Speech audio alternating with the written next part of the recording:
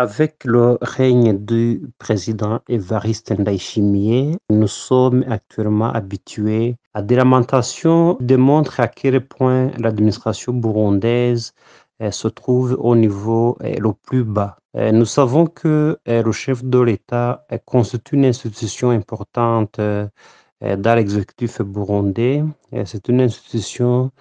qui, en vertu de la Constitution et d'autres lois, dispose d'un certain nombre de prérogatives, lesquelles prérogatives devraient lui permettre de prendre des mesures les plus sérieuses au lieu de continuer à se lamenter comme quoi c'est quelqu'un qui n'a plus aucun moyen d'action. Nous pensons que c'est une manière de gouverner qui met à mal les collaborateurs, notamment les administratifs à la base, parce qu'ils sont régulièrement humiliés devant la population.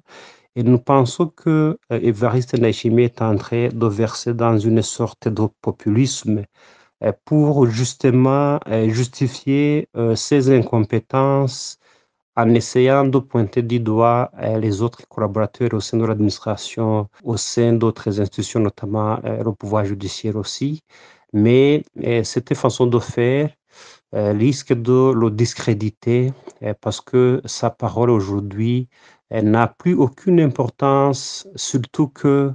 on est habitué à ce genre de lamentations qui ne sont pas suivies d'effets sur le terrain. Nous pensons qu'un président de la République devrait être quelqu'un qui agit, quelqu'un qui utilise les prérogatives légales qui sont les siennes pour pouvoir redresser toutes les situations devenues problématiques, notamment les situations qui sont décrites par la population. Ce genre de populisme qui essaie de, à, travers lequel le président essaie de s'auto-blanchir, ce sont des manœuvres qui sont à la limite ridicules parce que on ne peut pas comprendre comment un président de la République continue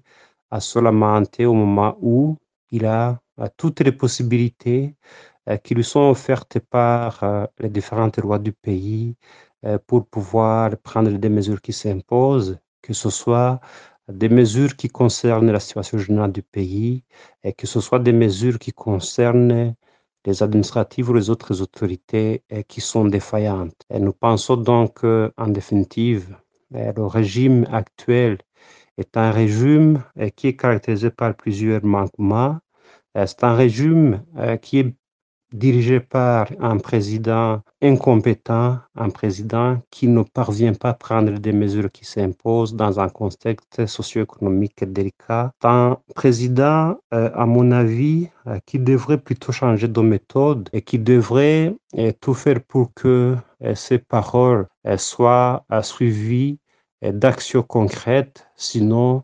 c'est lui-même qui se discrédite et nous pensons qu'on est dans une situation où on ne peut plus croire à la parole du chef de l'État et cela est grave. En ce qui concerne l'image des institutions publiques au sommet lorsque notamment un président de la République ne parvient pas à respecter ses collaborateurs, elle ne parvient pas à respecter les procédures qui doivent être suivies, que ce soit au niveau administratif ou au niveau politique.